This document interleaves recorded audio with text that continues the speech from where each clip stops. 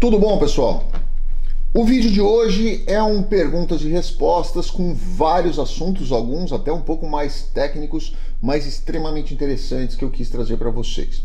Alguns deles são perguntas que muitas pessoas fazem, já me fizeram inclusive em reuniões e eu achava que não, não, não era tão relevante, mas dada a quantidade de pessoas que começaram a perguntar sobre a mesma coisa, eu resolvi trazer aqui para vocês principalmente essa primeira pergunta. Eu vou deixar aqui na descrição do vídeo o, o, minuto de cada uma das perguntas e o assunto que se trata. Então, por exemplo, se você não tiver interesse em algum tipo de, de, de, assunto desse, de, de, perguntas dessas que foram feitas, você pode olhar aqui na descrição do vídeo, vai ver o minuto da pergunta que interessa a você e você vai direto para ela, vai economizar o tempo de bastante gente, porque algumas delas são mais longas. Então pode ser que a gente acabe perdendo um pouco mais de tempo aqui e eu quero otimizar o tempo de vocês também, tá bom?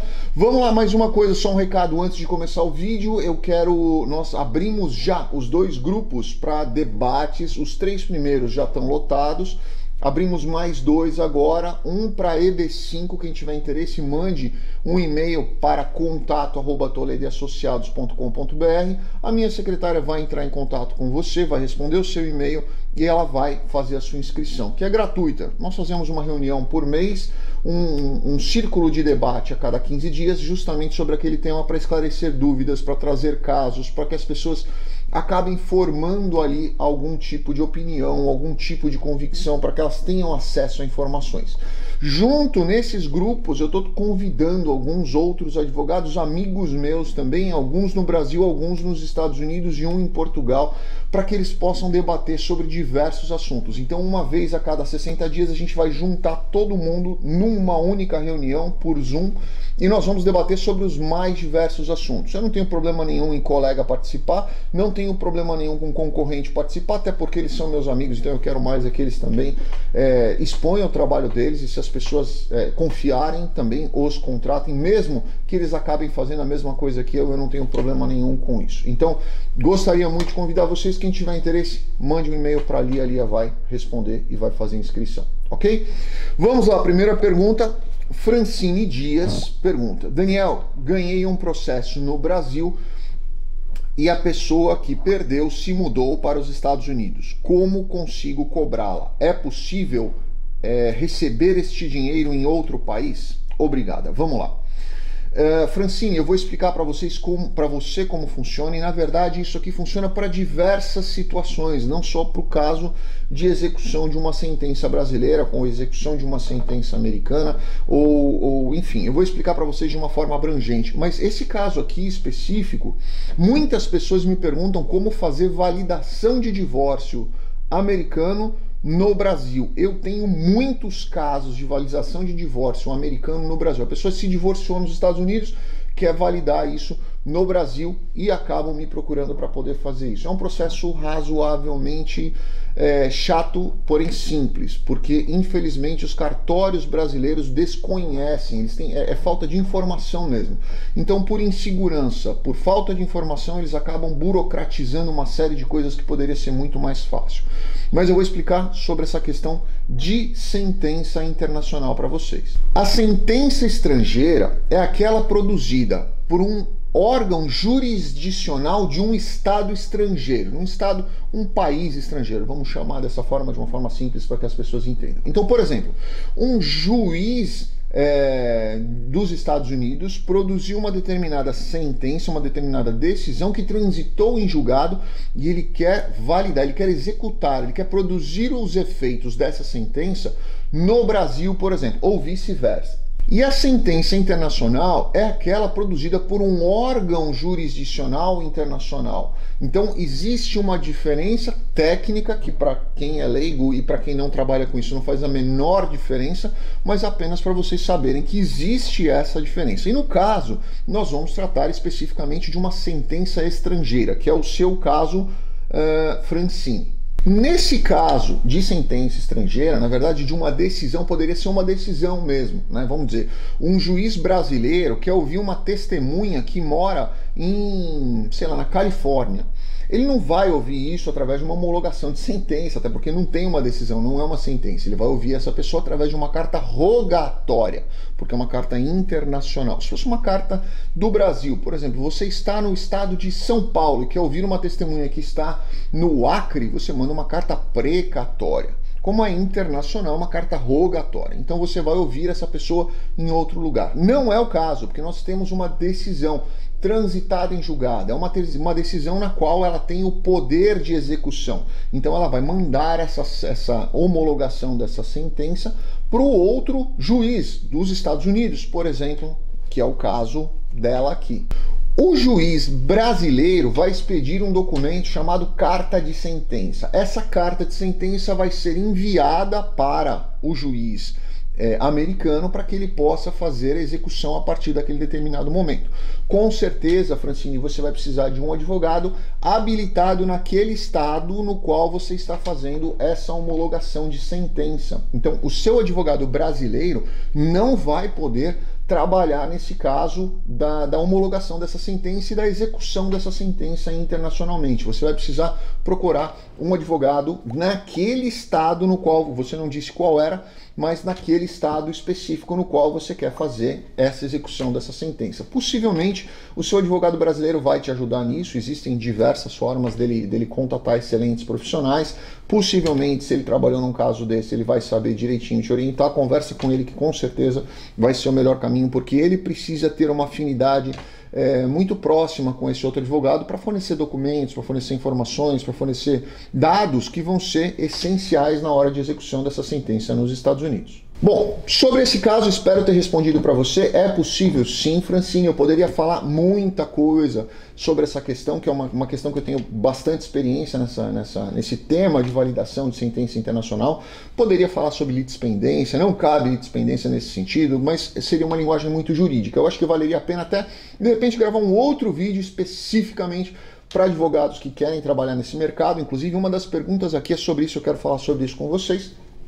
Mas para responder de uma forma bem simples, é possível sim, Francine. Eu acho que você deve conversar com o seu advogado, ele vai saber direcionar direitinho você e encaminhar da melhor forma possível.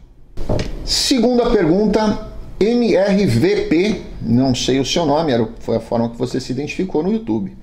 Daniel, sou advogado em Santa Catarina há 15 anos e venho me interessando muito pelo mercado internacional. Alguma dica para quem quer se especializar? Meu caro MRVP, foi o que eu falei na questão anterior. Né? Existe hoje uma crescente demanda para validação de sentença internacional. O mundo se globalizou bastante. Contratos internacionais, validação de sentenças, homologação de divórcios, é, registro de filhos, tem uma série de coisas que você pode fazer. Mas um caso, uma, um, um, um nicho de mercado que eu direcionaria você nesse momento, principalmente se você é mais novo, porque vai precisar você vai ter que se especializar muito, vai ter que estudar muito nessa questão e eu acho que isso só vai realmente ferver daqui uns 5 anos. É a questão de arbitragem internacional. Eu tenho visto esse mercado crescer absurdamente e eu tenho visto cada vez menos gente competente dentro desse mercado. Você começa, você percebe que existem poucas pessoas competentes naquele mercado quando você começa a ver os grandes indicando exatamente a mesma pessoa. Então, por exemplo, o José te indica o Silvio. Aí você pega o Manuel, que não conhece o José, ele vai e indica o Silvio. Aí vem a Mariazinha e indica o Silvio. Todo mundo começa a indicar aquela mesma pessoa. Você começa a ver que não é que aquela pessoa é a melhor do mercado. Você começa a ver que aquela pessoa é a única confiável do mercado.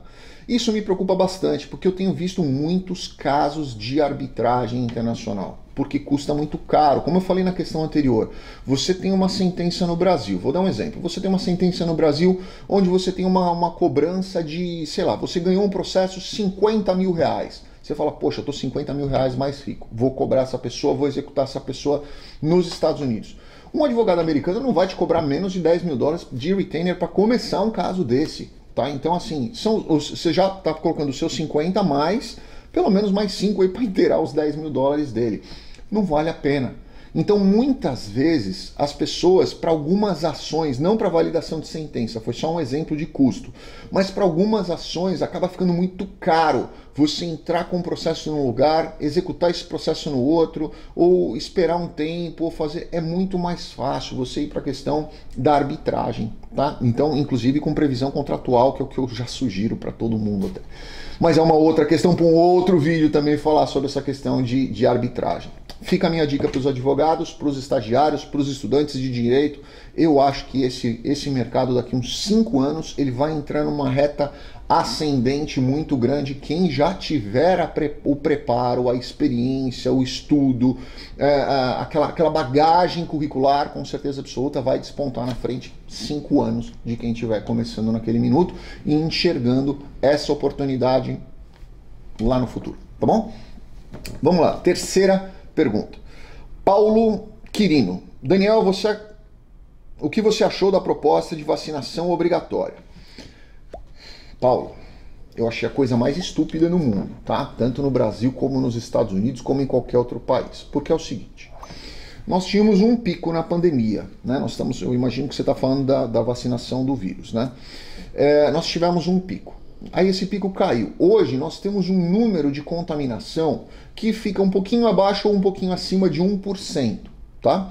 Quando você faz uma campanha de vacinação obrigatória, a gente tem visto que em algumas, algumas, algumas simulações e alguns lugares as pessoas têm se contaminado na casa de 4 a 6,5%. Ou seja, a vacina acaba gerando o efeito colateral de 4 a 6,5% das pessoas.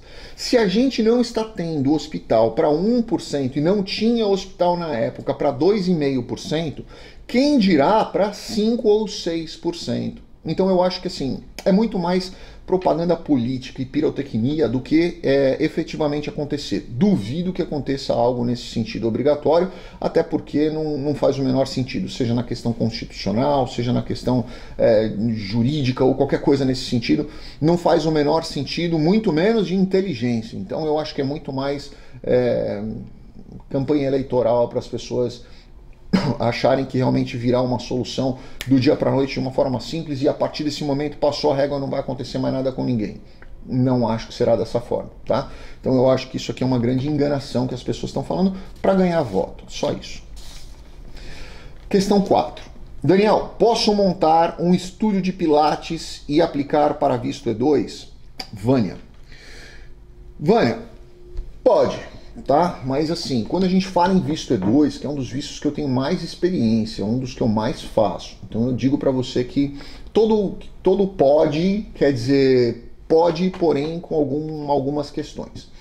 Por exemplo, você montar um estúdio de pilates, você vai precisar ter licença para atuar como professora de pilates. Eu não sei como funciona. Podemos estudar, mas eu não sei quais são as licenças para aquele estado onde você quer ir. Até porque você não disse qual era o estado e quais são os requisitos, tá? Então essa é uma situação. Você poder montar e contratar uma professora já licenciada de Pilates, perfeito. Daniel, eu quero só administrar, quero montar a minha equipe, perfeito. Eu quero abrir um estúdio de Pilates, colocar a minha metodologia, mas quem vai aplicar essa metodologia é alguém que já tem a licença. Perfeito, funciona super bem, vai ser super bacana. Não existe muita restrição para aplicação de vistos E2. Como eu já falei para vocês aqui, quem me acompanha há bastante tempo, nós já fizemos coisas que muita gente achava que era absurdo, não passaria nunca. Loja de arma para brasileiro, para exportar arma, quem né, imaginaria? Nós temos casos nesse sentido, já fizemos vídeos, inclusive, com, com essas pessoas. É, a questão da, da, pizzaria que eu citei no vídeo anterior. É, nossa, eu posso citar dezenas de, de histórias de visto Z2, onde as pessoas dizem, não, isso aqui não passa para visto E2. Passa, basta que seja feito de uma forma estruturada, planejada e justificada. Tá? Então, assim, gosto bastante da ideia, acho super bacana. Já fizemos academia, já fizemos academia de crossfit foi muito bacana. Hoje, essa pessoa que tinha que abriu a primeira academia de, de crossfit, eu fiz um vídeo com ele lá atrás, com o Luiz. Todos os vídeos eu acabei é, colocando no privado, porque infelizmente as pessoas acabam incomodando os clientes, fazendo perguntas que obviamente só tem a ver com é, o projeto deles, né? Eles querem pegar a ideia para fazer no projeto deles. E a minha intenção não era essa Era, era mostrar que a coisa funcionava e não dar o contato para que as pessoas entrassem em contato e, e, questionassem como é que foi o processo deles, porque isso acaba tomando tempo deles. Mas o caso do Luiz, quem assistiu o vídeo deve lembrar dessa história aí do Luiz, que ele abriu um estúdio de, de crossfit, hoje ele está com quatro estúdios de crossfit. São pequenos, super personalizados, bem estilo boutique mesmo. É, e, e graças a Deus virando super bem. Então é possível sim, depende da forma com que será feito, tá bom? Porque pode ser que eles peçam licença para você.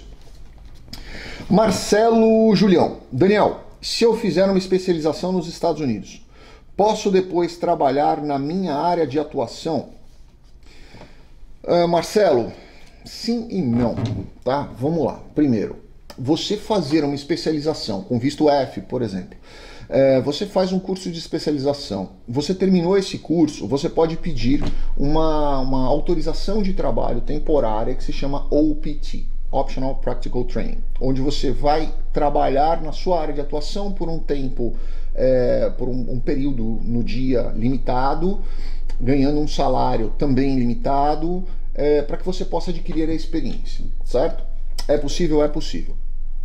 Mas você, eu imagino que você, pela sua pergunta aqui que eu entendi, quer dizer que você, se formando, teria direito a um visto onde você poderia trabalhar efetivamente na sua área e de repente futuramente pedir um green card, alguma coisa nesse sentido. Não é bem assim que funciona, tá? Existem algumas pessoas que falam, é, não, vem aqui, eu vou colocar você na escola, você vai se formar, eu consigo um emprego, consigo, eu vendo uma vaga de emprego para você, isso não existe. Tá? Não, não existe. Mas eu não, não acho bacana, não acho legal, não é legal no sentido jurídico dizendo, não é legal. Você não pode vender uma vaga de trabalho para um estrangeiro, por exemplo, isso a gente vê acontecendo é, constantemente. Não gosto desse tipo de situação, não acho que seja a solução para algum tipo de, de coisa. De repente, você mesmo fazendo dentro do seu OPT, a pessoa que, que te contratou no OPT gosta do seu trabalho, vê que você é um profissional top e ele quer manter você, ele pode te oferecer um outro tipo de contrato, que este outro tipo de contrato pode dar a você uma, uma eventual é, visto de trabalho, um eventual green card, alguma coisa nesse sentido. A empresa peticionando para você, tá? Mas não, não, não vincule uma coisa na outra porque não é legal, não é bacana. A gente vê uma série de, de histórias que não estão dando muito certo e, e particularmente eu não gosto muito disso tá bom? Bom, gente, eram isso. Selecionei essas cinco perguntas aqui para vocês. Eu quero gravar um vídeo na daqui dois dias. Eu entre hoje e amanhã tá super corrido, mas daqui uns dois dias eu vou tentar gravar um outro vídeo falando para vocês sobre algumas novidades que eu vou trazer para vocês. Eu vou, vou deixar vocês curiosos aí. No final de semana, com certeza, esse vídeo vem pro ar. Grande abraço, fiquem com Deus. Obrigado.